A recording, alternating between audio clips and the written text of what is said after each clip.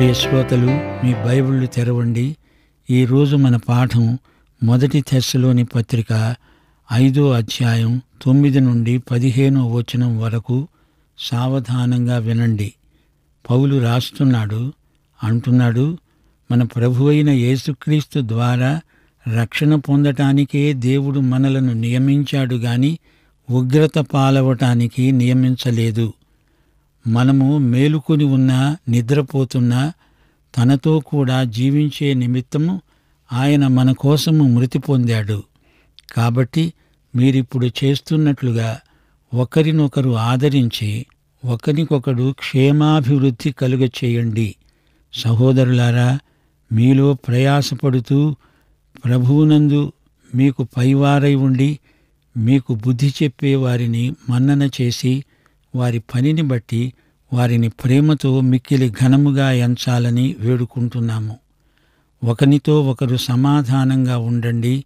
సహోదరులారా మేము మీకు బోధించేది ఏమనగా అక్రమముగా నడుచుకునే వారికి బుద్ధి చెప్పండి. ధైర్యము చెడిన వారిని ధైర్యపరచండి. బలహీనులకు ఊతనివ్వండి. అందరి ఎడల దీర్ఘశాంతము గలవారై ఉండండి. ఎవడు కీడునకు ప్రతి కీడు ఎవనికైనా చేయకుండా చూసుకోండి.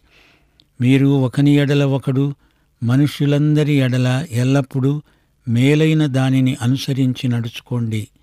ఎల్లప్పుడూ సంతోషంగా ఉండండి. ఎడతెగక ప్రార్థన చెయ్యండి శ్రోతలు వింటున్నారా?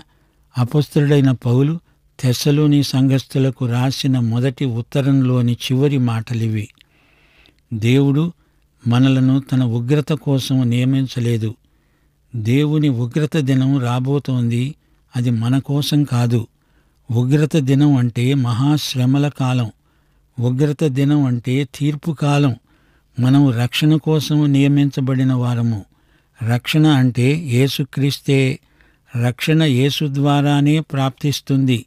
సంఘం మహాశ్రమల కాలంలో ఉండదు. ఎత్తబడుతుంది.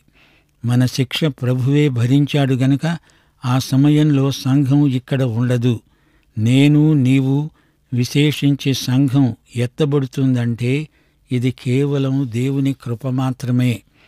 దేవుడు మనలను ఉగ్రత దినం కోసం మహాశ్రమల కాలం కోసం నియమించలేదు. యేసుక్రీస్తు ద్వారా రక్షణ పొందటానికే దేవుడు మనల్ని పిలిచాడు. యేసుక్రీస్తు మన కోసం చనిపోయాడు. మనం మేల్కొని ఉన్నా నిద్రించినా ఆయనతో జీవిస్తాము.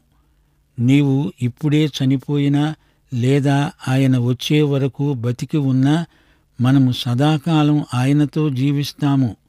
చాలామంది మృత్యుద్వారం దాటి వెళ్ళిపోయిన వారున్నారు. ఒకనొక రోజు ఆ ఊరేగింపును చూస్తాము.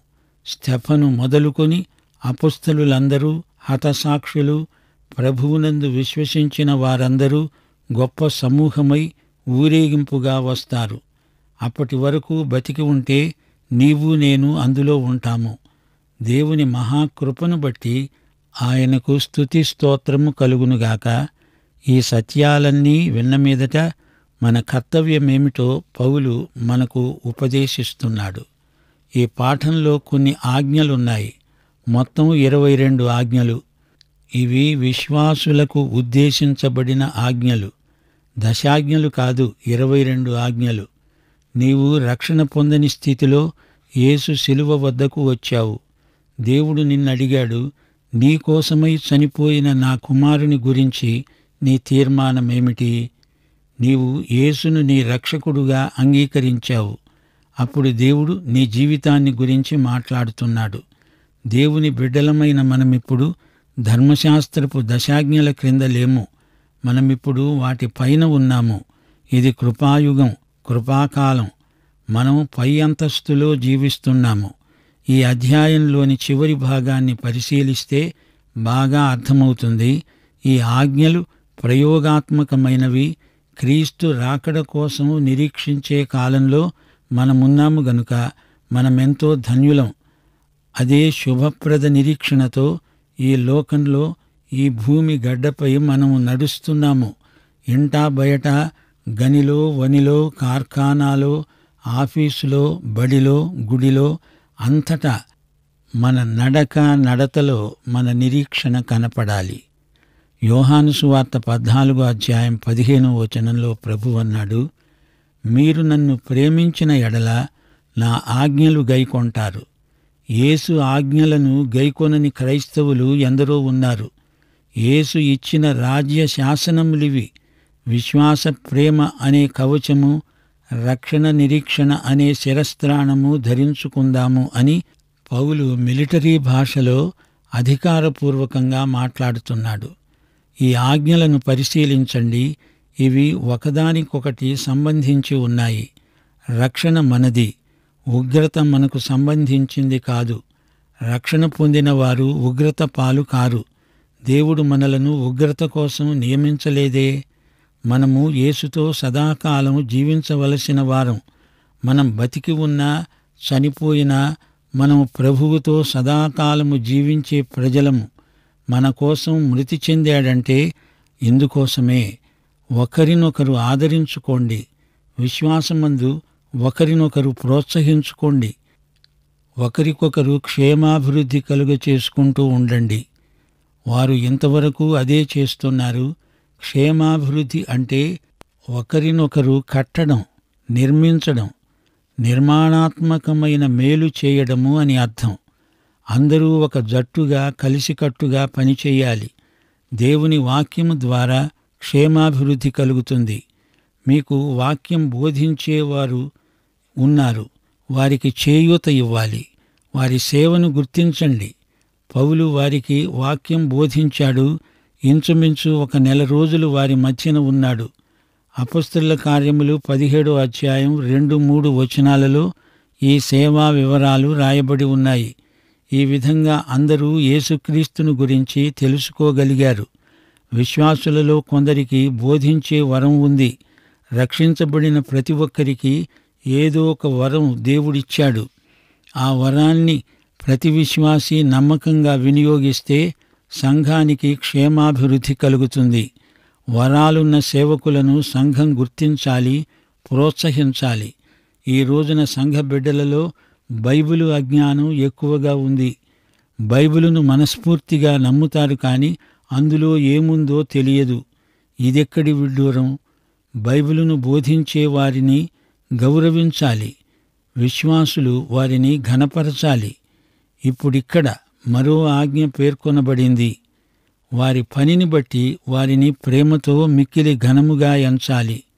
దేవుని వాక్యాన్ని ప్రేమించేవారు దేవుని వాక్య పరిచారకుణ్ణి ఎక్కువగా ప్రేమిస్తారు. మరో ఆజ్ఞ ఒకరితో ఒకరు సమాధానంగా ఉండండి. నాయకునికి అందరూ విధేయులై నాయకుణ్ణి వెంబడించాలి. అక్రమంగా నడుచుకునే వారికి బుద్ధి చెప్పండి. అందరితో సమాధానంగా ఉండండి. ధైర్యము చెడిన వారిని ప్రోత్సహించండి. ధైర్యం గొలిపే మాటలు చెప్పండి. బలహీనులను ప్రోత్సహించండి. వారికి చేయూతనివ్వండి. పౌలు రాస్తున్నాడు. ఇది మరొక అర్థవంతమైన కొత్త నిబంధన ఆజ్ఞ. అందరి ఎడల దీర్ఘశాంతం గలవారై ఉండండి. ఊరికే అసహనంతో రెచ్చిపోవద్దు నోరు పారేసుకోవద్దు అట్టిట్టయిపోవద్దు.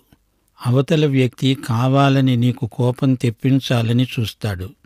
అదే నీకు పరీక్షా సమయం. మనము దీర్ఘశాంతం ఎంతైనా కలిగి ఉండాలి.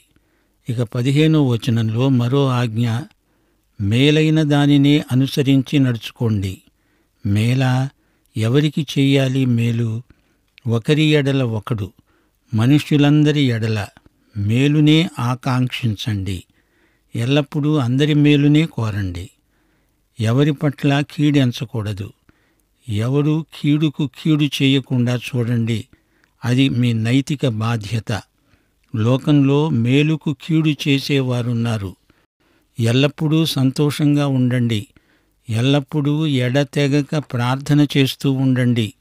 అనగా ప్రార్థన మనస్సు కలిగి ఉండండి. ఎడతెగకుండా ప్రార్థనాత్మ మీలో ఉండి పనిచేస్తుంటాడు కొంచెం ఖాళీ సమయం ఉన్నా దాన్ని ప్రార్థనతో నింపేసేయండి. మేలు చేసిన వారికే మేలు చేయడం లోకంలో అందరికీ తెలుసు. కానీ మీ నీతి దానికి మించింది. కీడు చేసేవారికి కూడా మేలే చేస్తారు దేవుని బిడ్డలు. లూకాసు వార్త ఆరో అధ్యాయం ముప్పై మూడో వచనంలో కొండమీది ప్రసంగంలో ప్రభువు ఏమన్నాడు? మీరు మేలు చేసిన వారికే మేలు చేసిన ఎడల మీకేమి మెప్పు కలుగుతుంది? పాపులు అలాగే చేస్తారు గదా. దేవుని నైతిక ప్రమాణాలు ఎంతో ఉన్నతమైనవి. మనకు అవతలి వ్యక్తి కీడు చేస్తుంటే దానికి బదులుగా మనం మేలు చేస్తాము. ప్రకృతి సంబంధికి ఇది వెర్రితనం అనిపించవచ్చు ఇక పన్నెండో ఆజ్ఞ ఏమిటనుకున్నారు? ఎల్లప్పుడూ సంతోషించండి. ఫిలిప్పి నాలుగో అధ్యాయం నాలుగో వచనం ఆనందించండి ప్రభువునందు ఎల్లప్పుడూ ఆనందించండి. ఇది తాత్కాలిక సంతోషానికి మించిన అనుభూతి ఆనందం. ఎడతెగక ఆనందించాలి. ఇది ఆత్మఫలం. ఇది పాత నిబంధన దశాజ్ఞల్లో లేదే. క్రైస్తవం ఏడుపుగొట్టు ముఖాల ఉద్యమం కాదు. ప్రేమ ఆనందం సమాధానం ఇది పదమూడో ఆజ్ఞ. ప్రియ శ్రోతలు వింటున్నారా? ఇవి కొత్త నిబంధన ఆజ్ఞల జాబితాలు. గనుకే పరిశుద్ధాత్మ వీటిని నీ చేత సునాయాసంగా చేయిస్తాడు. ఆయన ఆజ్ఞలు భారమైనవి కావు. ఎంతో తేలిక సులభం. శ్రోతలు వింటున్నారా? యేసు ప్రభు రాకడను గురించిన మాటల వెనుక పాత నిబంధన నీడ కనిపిస్తుంది. చూస్తున్నారా? ప్రభువు దినం అంటే మహాశ్రమల కాలం. ప్రభువు దినం అకస్మాత్తుగా వచ్చి పడుతుంది. కాని సంఘమా అది నీకోసం కాదు. అది లోకానికి తీర్పు సమయం. యేసు ప్రభువు రెండో రాకడ సంఘం కోసం. ఆ రోజు ఎప్పుడో ఎవరికీ తెలియదు. సంఘం ప్రభువు రాకడ కోసమై సిద్ధంగా ఉండాలి. సంఘంలో పరిశుద్ధాత్మ ఉండి మెళుకువ కలిగిస్తాడు. ఈ అధ్యాయం ముగింపులో పౌలు పేర్కొన్న ఆజ్ఞలన్నీ ముత్యాల్లాంటివి.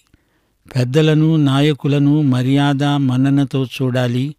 వారు చేసే పనిని బట్టి వారికి గౌరవం ఉంది. సమాధానంగా ఉండండి. ద్వేషబుద్ధి గలవాడెవ్వడూ సువార్తను ప్రకటించలేడు. నిరాశా నిస్పృహలలో ఉన్నవారిని అనుభవజ్ఞులైన విశ్వాసులు బలపరచాలి. కక్ష సాధింపు ప్రతీకార చర్యలు దేవుని బిడ్డలకు తగనివి. సోదరి సోదరులారా వింటున్నారా? గమనించాలి ఈ అధ్యాయంలోని హెచ్చరికలన్నీ నేరుగా సంఘ కాపరులకు వర్తిస్తాయి. ఈ మాటల్లో ఆదరణ ఉంది సిద్ధాంతం కాదు. యేసు రెండో రాకడ వెలుగులో విశ్వాసులు ఎలా ప్రవర్తించాలో ఇక్కడ తేటగా చెప్పబడింది. విశ్వాసుల జీవిత శైలి ఇందులో కనిపిస్తుంది. సంఘానికి బయట ఉన్నవారికి సూచన సంఘం ఎత్తబడుతుంది వెంటనే మహాశ్రమలు మొదలవుతాయి. ఆ దినం దొంగలాగా వస్తుంది. గర్భిణీ స్త్రీకి కానుపు నొప్పులు వచ్చినట్లే అది అకస్మాత్తుగా సంఘటిల్లుతుంది. విశ్వాసులు మీరైతే చీకట్లో లేరు గదా మీరు వెలుగు పిల్లలు వెలుగు సంబంధులు. మనం రాత్రి మనుషులం కాము పగటి మనుషులం. నిద్రామత్తులై ఉండకండి అప్రమత్తులై ఉండండి. విశ్వాసమనే కవచం మనకుంది అందులో ప్రేమ ఇమిడి ఉంది. రక్షణ నిరీక్షణే మన శిరస్త్రాణం. ప్రభువు దినం అంటే దేవుని ఉగ్రత దినం మహాశ్రమల కాలం. అవి మన కోసం కాదు మనము ఒక సంఘముగా ఎత్తబడిన తరువాత లోకం మీదికి రాబోయే మహాశ్రమలు దేవుని ఉగ్రతకు సూచన. మన గమ్యమేదో ముందుగానే నిర్దేశించబడింది. మన కోసమై మరణించిన యేసుక్రీస్తు ద్వారా రక్షణ. అదే మన గమ్యాన్ని తేట తెల్లం చేస్తుంది. మనం మేల్కొని ఉన్న సజీవులమా నిద్రించిన మృతులమా ఎలాగైనా మనం నిత్యత్వంలో ప్రభువుతో ఉండిపోతాము. ఈ దర్శనం మన ఎదట ఉంది. ఈ విషయాలను విశ్వాసులు ఒకరితో ఒకరు పంచుకుంటూ ఉంటే వారికెంతో ప్రోత్సాహం. అదే అందరికీ క్షేమాభివృద్ధి. ప్రభువు రాకడ అంటే విశ్వాసులకు శుభప్రద నిరీక్షణ కాని లోకానికి తీర్పు. ఈ కాలాలు సమయాలు విశ్వాసులు ఎరిగి ఉండాలి. ఈ విషయంలో అజ్ఞానం ప్రమాదకరం. అనగా చరిత్ర ఎలా మలుపులు తిరుగుతోందో విశ్వాసులకు తెలిసి ఉండాలి. యేసు ఎప్పుడు వస్తాడో ఆ తేదీ మనకు తెలియకపోయినా రాకడ సూచనలను మనం గమనిస్తూ ఉండాలి. అపస్తుల కార్యములు మొదటి అధ్యాయం ఏడో వచనంలో ప్రభు అన్నాడు ఆ కాలమేదో సమయమేదో నిర్దిష్టంగా తెలుసుకోవడం మీ పని కాదు. వాటిని తండ్రి తన స్వాధీనంలో ఉంచుకొని ఉన్నాడు. మతయి సువార్త ఇరవై నాలుగో అధ్యాయం ముప్పై రెండు నుండి ముప్పై ఆరో వచనం వరకు ఇదే అంశాన్ని ప్రభువు విపులీకరిస్తూ అన్నాడు ఆ దినమును గూర్చి ఘడియను గూర్చి తండ్రి మాత్రమే ఎరుగును గాని ఏ మనుష్యుడైనా కుమారుడైనా ఎరుగరు. కాలగతులు తండ్రి వశంలో ఉన్నాయి. కాలానికి దేవుడైన తండ్రి కాల విభజన యుగ విభజన చేశాడు. తెస్సలునికయలో పౌలు పట్టుమని మూడు వారాలు కూడా ఉండలేదు. ఉన్న కొద్ది రోజుల్లో ప్రభువు రెండో రాకడను గురించి ఎన్నో సంగతులు వారికి బోధించాడు. ఏదేమైనా పరిశుద్ధాత్మే వారిని సర్వసత్యములోకి నడిపిస్తున్నాడు. సువార్త క్రైస్తవ జీవితం అనే అంశాలు మనలో ఉన్న పరిశుద్ధాత్మ ఎప్పటికప్పుడే బయలుపరుస్తూ ఉంటాడు. ప్రభువు రాకడ రక్షణ పొందిన వారి కోసమైతే ప్రభువు దినం అవిశ్వాస లోకంపై ఉగ్రతతో కూడిన తీర్పు దినం. ప్రభువు రాకడ అంటే ఆ సంఘటన విశ్వాసులకు శుభప్రద నిరీక్షణ. ఈ విషయంలో విశ్వాసులకు ప్రోత్సాహకరంగా పౌలు కొన్ని మాటలు చెప్పాడు. మనము చీకటికి చెందిన వారము కాము మనము వెలుగు సంబంధులము మనమే వెలుగు వెలుగు సంబంధులు పగటి పిల్లలు అన్నప్పుడు అది వారి నీతిని వ్యక్తం చేస్తుంది. నైతికంగా నిర్లక్ష్యం అప్రమత్తత విశ్వాసులకు తగనివి. నిరీక్షణ లేని ఇతరుల వలె మనం జీవించము. సైన్య పరిభాషలో సర్వాంగ కవచమని శిరస్త్రాణమని పౌలు పేర్కొనడం విశేషం. ఎఫ్సి పత్రికలో కూడా కవచాన్ని శిరస్త్రాణాన్ని పౌలు ప్రస్తావించాడు. కవచమంటే క్రీస్తు శిరస్త్రాణమంటే రక్షణ అని ఇక్కడ ప్రత్యేక అర్థం చెబుతున్నాడు పౌలు. విశ్వాసము నిరీక్షణ ప్రేమ అనే మూడు విశ్వాసుల గుణత్రయం. విశ్వాసానికి కర్త దానిని కొనసాగించేవాడు యేసుక్రీస్తే. నిరీక్షణ అనే మాట ఈ పత్రికలో ప్రభు రెండో రాకడకు సంబంధించింది. దేవుని ప్రేమ మనలోకి క్రీస్తు ద్వారా ప్రవహిస్తుంది. ఏసే ద్వారం ఏసే మార్గం ఏసే దేవునికి మనకు మధ్యవర్తి. ప్రియ శ్రోతలు వింటున్నారా? మనం ఒకానొక రోజు యేసుతో సదాకాలం ఉండడానికి ఎత్తబాము ముగింపులో కొన్ని ఆజ్ఞలు విశ్వాసుల కోసమై పొందుపరచటం జరిగింది. ఒకరిని ఒకరు ఆదరించండి క్షేమాభివృద్ధి కలిగించండి వాక్య బోధకులను గౌరవించండి వారి మంచి పనిని బట్టి వారిని ప్రేమించండి ఒకరితో ఒకరు సమాధానంగా ఉండండి అక్రమకారులకు బుద్ధి చెప్పండి.